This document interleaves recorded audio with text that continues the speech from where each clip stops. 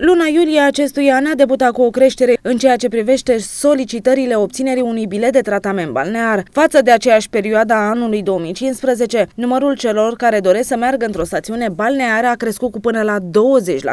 Potrivit reprezentanților Casei de Pensii Giurgiu, în această perioadă cele mai solicitate stațiuni sunt cele de pe litoral.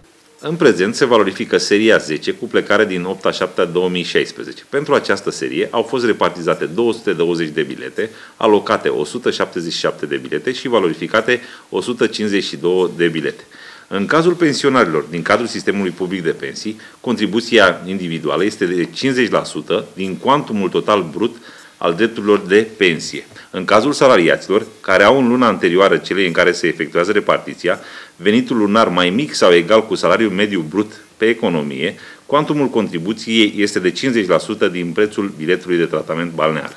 Durata unui sejur este de 16 zile, iar cea a unui tratament balnear este de 12 zile. Până la această dată, 2506 giurgiuveni au depus o solicitare la Casa de Pensii Giurgiu în vederea obținerii unui bilet de tratament. În cursul unui an calendaristic, persoanei îndreptățite îi se poate elibera un singur bilet de tratament. Ca noutate în anul 2016, în ceea ce privește beneficiarii biletelor de tratament balnear, conform noilor criterii de acordare a acestora, pensionarii militari nu mai beneficiază de bilete de tratament prin casele teritoriale de pensii.